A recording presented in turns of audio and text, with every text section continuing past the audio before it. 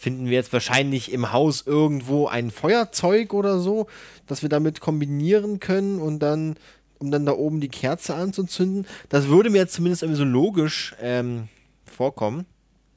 Ihr merkt, ich muss jetzt hier schon ganz schön Rätsel raten, denn so weit hatte ich das Spiel bisher nur wirklich ein einziges Mal und das war irgendwann Mitte der, Mitte der 90er.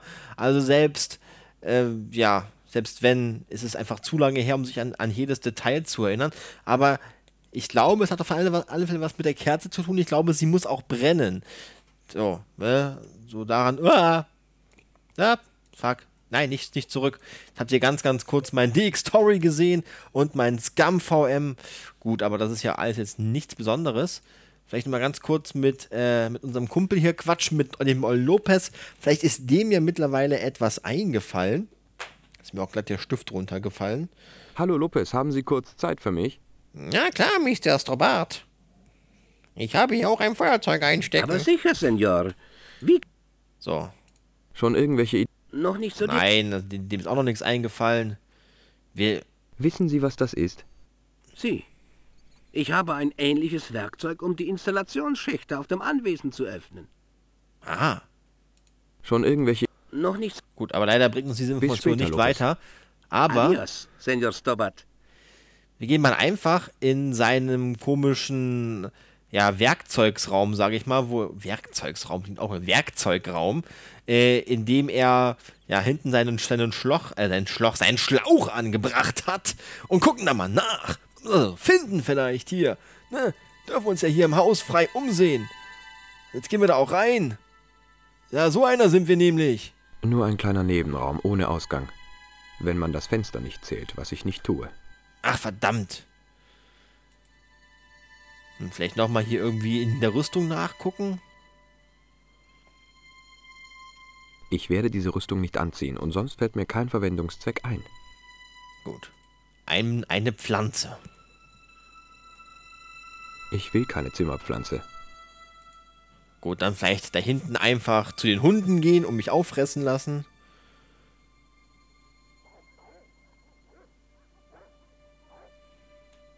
Okay. Gut, dann eben nach oben und uns oben umsehen und hoffen, dort irgendetwas zu finden.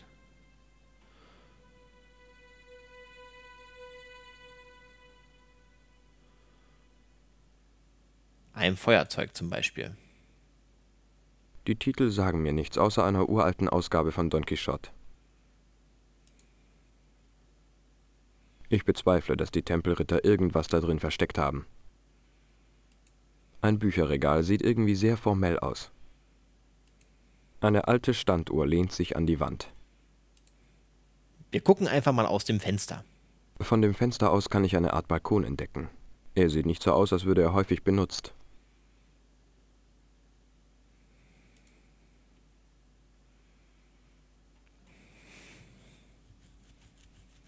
Was bitte soll ich mit einem Schweinekopf anfangen?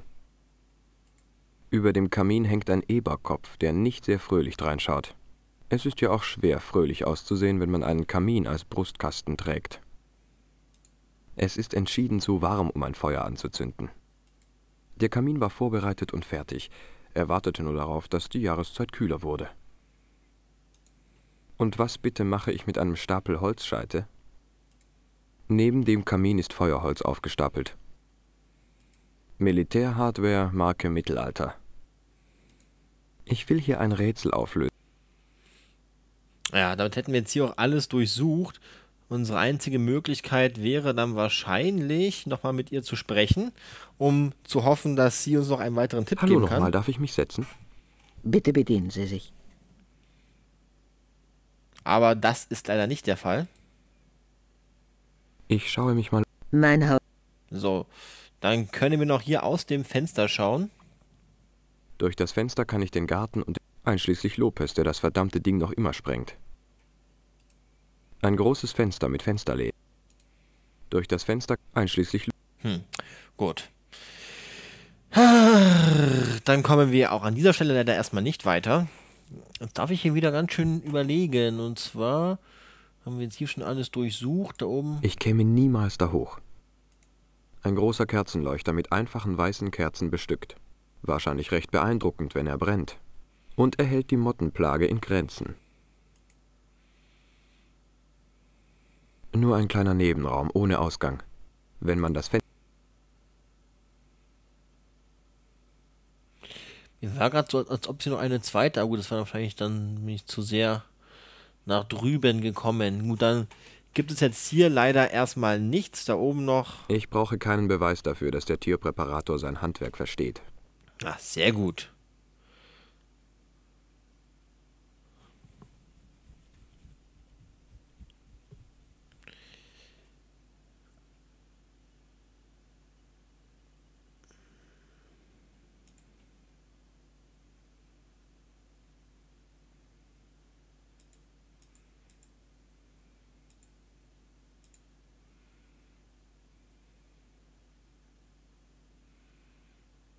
Mir widerstrebt der Gedanke, 30 Meter Gartenschlauch mit mir herumzuschleppen, also lasse ich ihn einfach liegen. Ja, besser ist es auch. Nein, ich werde mich doch nicht an Lopes Schlauch vergreifen, wo wir doch gerade so gut miteinander auskommen. Gut, damit können wir jetzt aber leider hier auch nichts mehr machen. Gut, damit wären wir jetzt hier eigentlich soweit durch und uns bleibt eigentlich nichts mehr anderes übrig, als wieder zurückzugehen und zu schauen, dass wir das Rätsel des Mausoleums doch noch irgendwie selbst gelöst bekommen. Ich gucke nochmal, ob ich jetzt hier so auf dem Weg noch irgendetwas vergessen habe, aber es sieht nicht so aus. So, ja, wir gehen wieder, wieder zurück nach hinten und haben immerhin die Gewissenheit, dass wir nichts vergessen haben. Das heißt, wir können uns jetzt in Ruhe da in den vier Wänden, die ein runder Raum eigentlich gar nicht hat, aber immerhin da uns jetzt irgendwie toträtseln. So, und ich hoffe mal, vielleicht finden wir hier draußen noch irgendwas.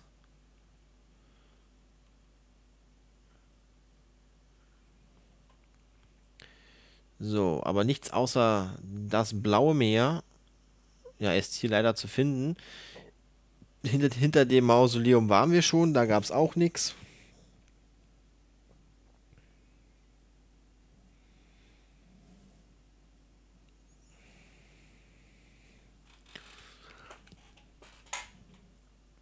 Ja, meine Idee ist ja hier, um einfach was mit den Kerzenständer da anzustellen. Von der Decke hängt eine große. Sie sieht sehr. Ich komme da oben nicht dran. Aber wir kommen halt auch damit da oben nicht ran und das stört mich gerade so ein bisschen. Weil das dürfte ja eigentlich nicht sein.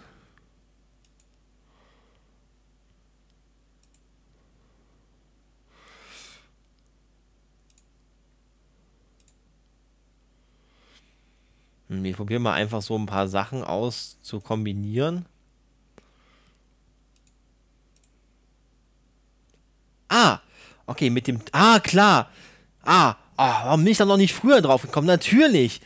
Jetzt haben wir da unser, unser Taschentuch dran, können es jetzt an der Kerze entflammen. Und das entflammte Taschentuch dann ab nach oben zur Kerze. Wir zünden sie an. Es erscheint Licht. Jetzt noch die Sauerstoff. Ah, okay.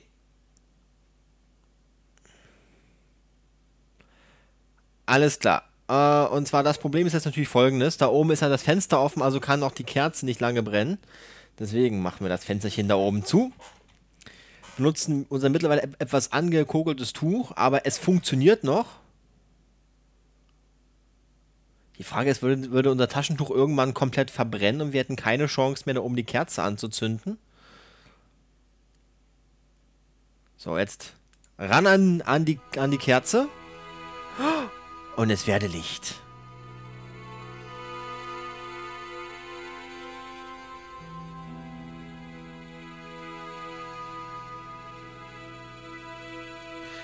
So.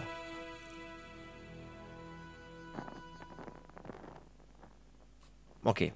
Kerze brennt. Brennt zur Hälfte ab. Moment mal, da ist da was drin. Und es fällt nach unten und uns in die Hand. Die Kerze hat besonders hell gebrannt, aber nur wenige Minuten. Irgendeine besondere Mischung vermute ich. Das hier ist dabei herausgekommen. Eine komplexe Form, von Expertenhand aus Stein geschnitten. Ich halte es für eine Art Schlüssel. Ein glattes, wunderschön bearbeitetes Stück Stein, das in der großen Kerze versteckt war. Gut, jetzt haben wir den Schlüssel, aber was fangen wir damit an? Aber ich glaube, hier können wir damit nichts mehr machen, oder? Vielleicht jetzt hier in dieses. Nee, können wir nicht. Ist auch nichts mehr groß zum Dingsen dabei, aber vielleicht ist ja mittlerweile Lopez eingefallen, wo der alte Brunnen war. Und vielleicht haben wir jetzt ja auch den Schlüssel dahin. So, und deswegen gehen wir jetzt einfach zu ihm hin und ja, fragen ihn mal. Und sind noch mal gespannt, was er jetzt nach der ganzen Grübelei für sich selbst so herausbekommen hat. Na, ich weiß es, Monsignor. Wir müssen einfach nehmen Dynamit und sprengen alles in die Luft. Dann wir sehen, ob da ist Brunnen. Okay, das klang jetzt nicht gerade spanisch und ich möchte damit jetzt auch niemanden in irgendeiner Form diskriminieren. Deswegen überspielen wir diese peinliche Situation jetzt einfach und gehen zurück zu, Lop zu Lopez.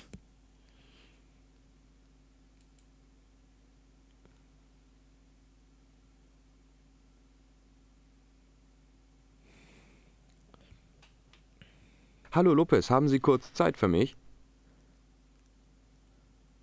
Aber sicher, Senor. Wie kann ich Ihnen helfen? Schon irgendwelche Ideen? Wir suchen nach einer Wasserstelle. Sie? Richtig. Seit vielen Generationen kennt die spanische Landbevölkerung einen geheimen Weg, Wasser aufzuspüren. Selbst wenn es mehrere Meter unter dem Boden liegt. Oh, Sie reden nicht zufällig von Wünschelroutengängern? Bitte? Sie wissen schon, Sie nehmen sich ein Stöckchen, rennen damit rum, bis es zuckt und da buddeln Sie dann. Ah, Sie haben schon davon gehört. Der größte Teil der Weltbevölkerung auch. Okay, suchen wir uns einen Stock. Uno momento. Es muss eine spezielle Route sein, ein Y von einem Haselnussstrauch. In Ordnung. Haben Sie hier irgendwo Haselnüsse? Sie, hier. Das sind Haselnüsse. Okay. Bis später, Lopez. Adios, Senor Stobart. Okay, jetzt brauchen wir hier irgendwo einen Haselnussstrauch und jetzt weiß ich auch, warum wir da hinten einfach mal um das Mausoleum herumgehen können. Denn dort, ja, finden wir auf jeden Fall einen Haselnussstrauch. Denke ich mal. Hoffe ich mal. Irgendwie.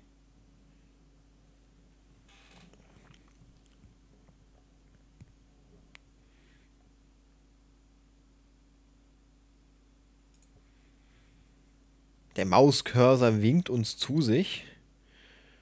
Und da denke ich mal. Nee, haben wir nicht. Ich will keinen Ärger. Hm. Ich würde gerne schwimmen gehen, aber ich habe keine Zeit. Das Mausoleum der de Vasconcelos, wo fünf Tempel. Okay. Hier finden wir keinen Haselnussstrauch. Wo finden wir jetzt hier bitte einen Haselnussstrauch auf diesem unendlich großen Grundstück? Und so. Manchmal fühlt man sich einfach vom Pech verfolgt.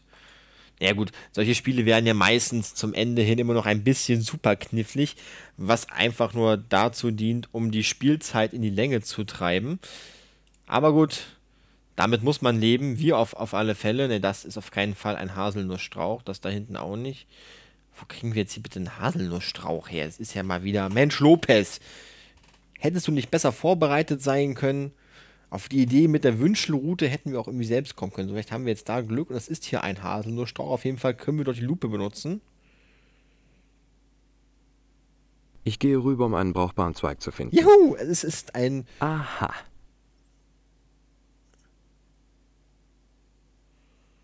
Yay! Wir haben jetzt den äh, benöt- benötigten Zweig. Eine dünne, biegsame Haselgerte.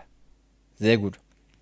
Und jetzt damit zurück zu Lopez und dann einfach mal hoffen, dass er damit etwas anfangen kann, weil ja, jetzt hier zu laufen, bis er zuckt, ist irgendwie nicht gerade so pralle. Aber gut, vielleicht hat Lopez ja recht.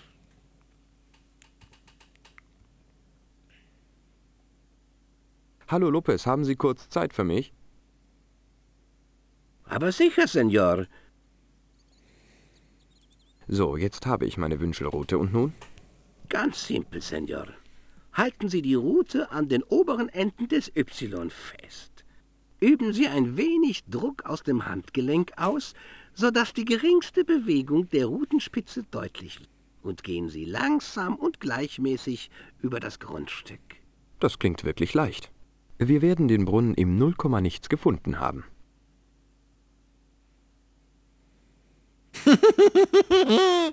Vor allem sieht es äußerst deppert aus. Zehn Jahre später. 15 Jahre später.